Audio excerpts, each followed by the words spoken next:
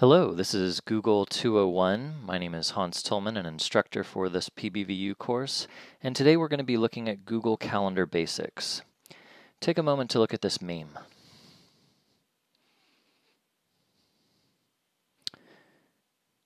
This is, of course, Kip from Napoleon Dynamite, and I guess you could say things are getting pretty serious. Let's take a moment to check out some of the features of Google Calendar.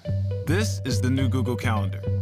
It looks like this, and this, and this. Hey guys, it can take this, this, and this, and put it all here, automatically. It helps you do this, so you can go there, with him, and him, and her, to see this guy. It works here, here, and here. So you can do this, that, and the other thing whatever the other thing is. Pickles!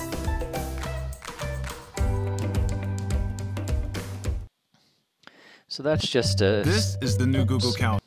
So that's just a sneak peek into Google Calendar. Now, hopefully you've had a chance to explore Google Calendar. You can do that by going to calendar.google.com. And this is what you'll find. This is the interface.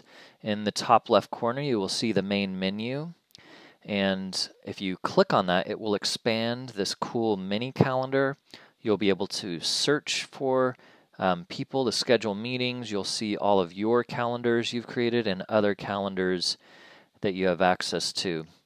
At the top menu, you will see the home button. So if you ever get lost, you can click on that little calendar icon. Also, if you're in the past or if you're in the past or the future and you need to get back to the present, just hit the today button.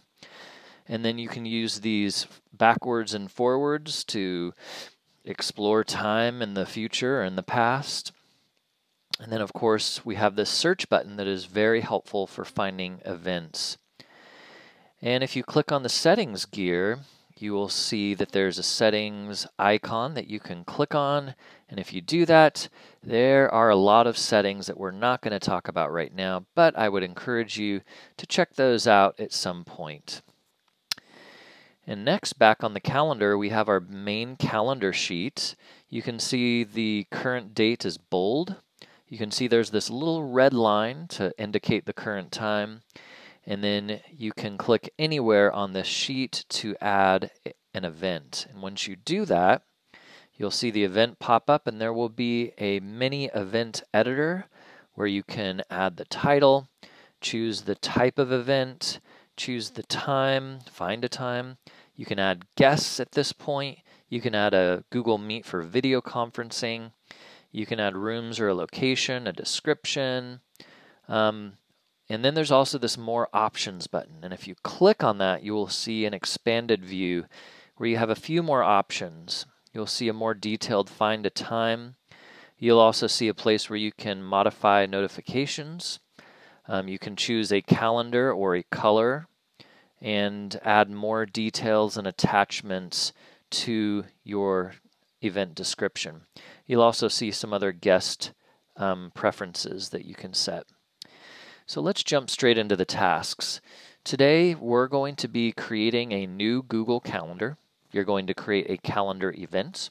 You'll have a chance to schedule and invite others to a calendar event.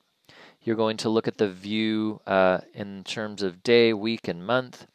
You'll also have a chance to search Google Calendar, use keywords or shortcuts in Google Calendar, and access it offline and also check out the Google Calendar app on a mobile device.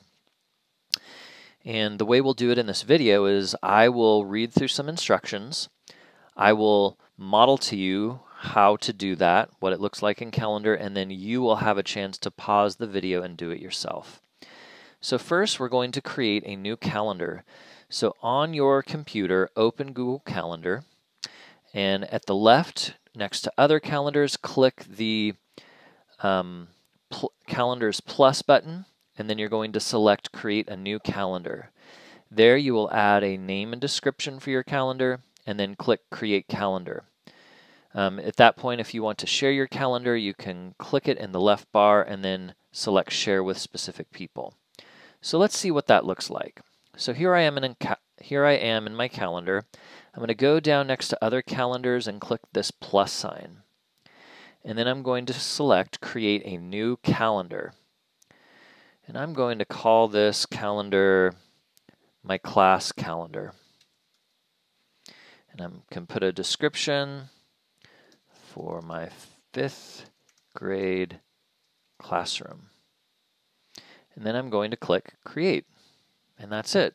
I now have a new Google Calendar and I have some settings here, but if I click this back arrow, I can see that I now have a class calendar that I can make events for.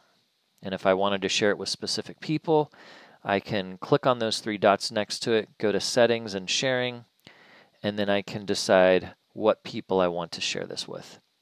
So now that you've had a chance to um, look at the instructions, watch the modeling, I'm now going to have you guys go ahead and pause the video and you create your own new calendar.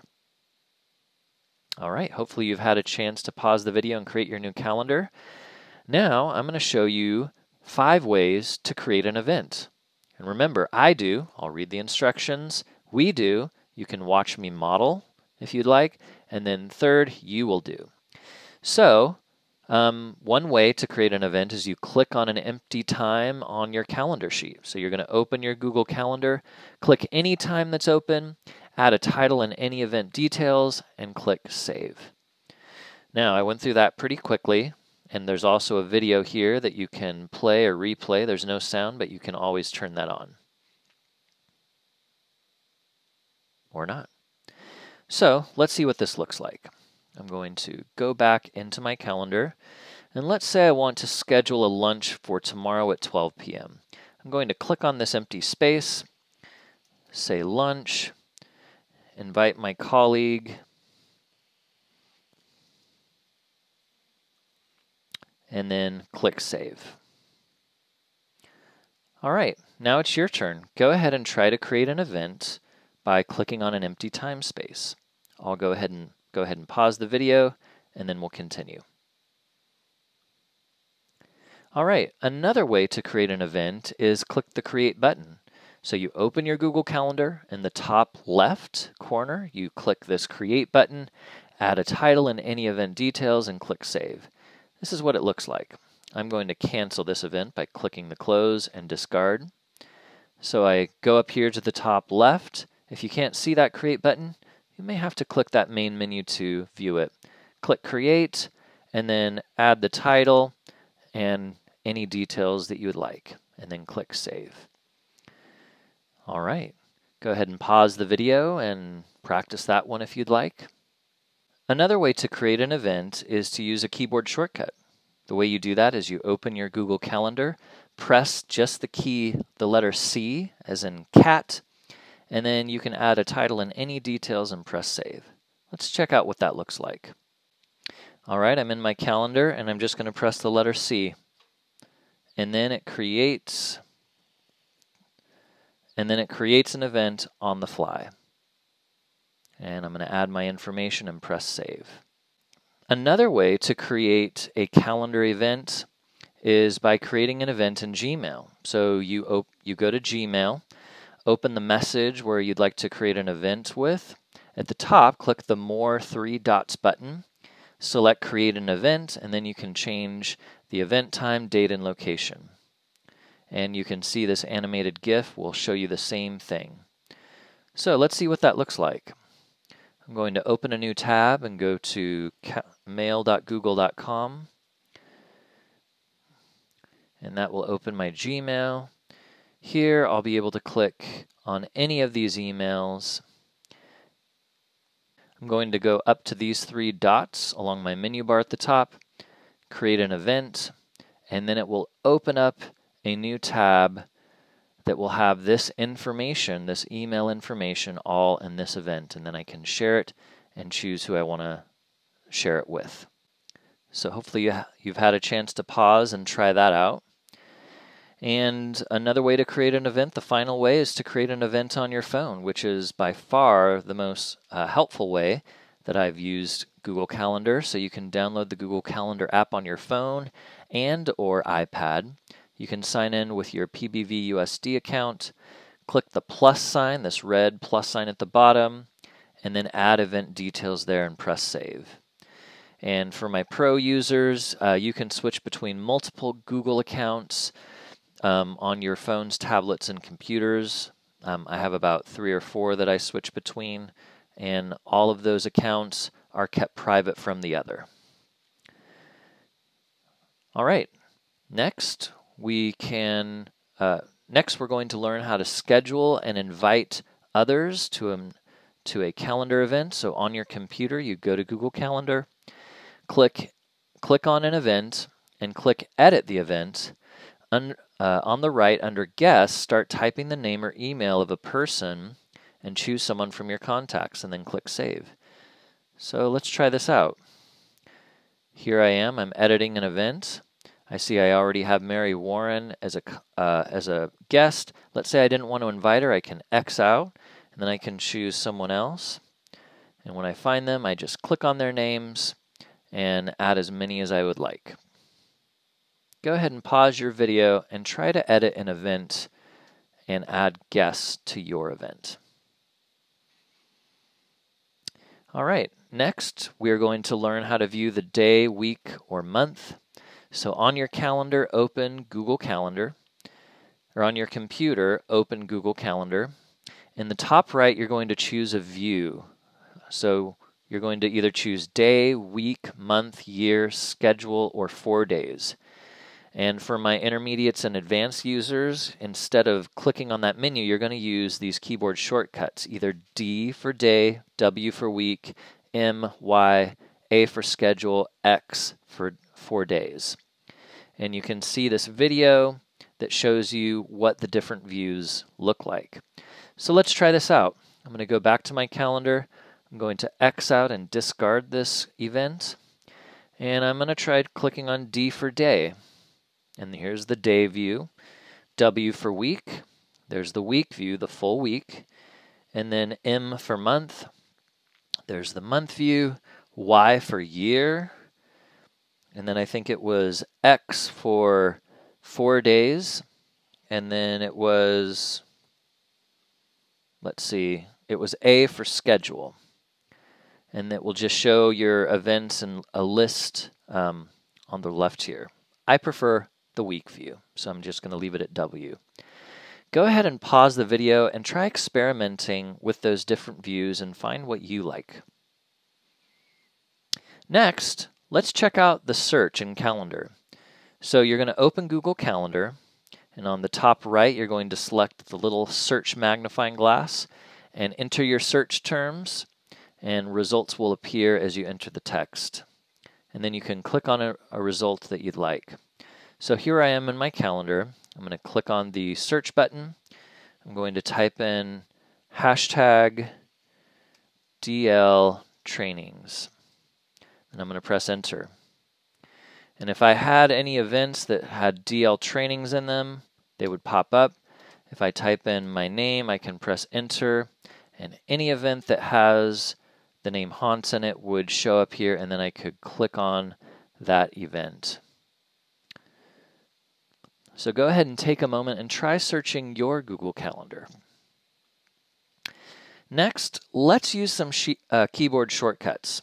So you're going to click on Settings, select Settings, and then on the left, you're going to make sure that keyboard shortcuts are enabled.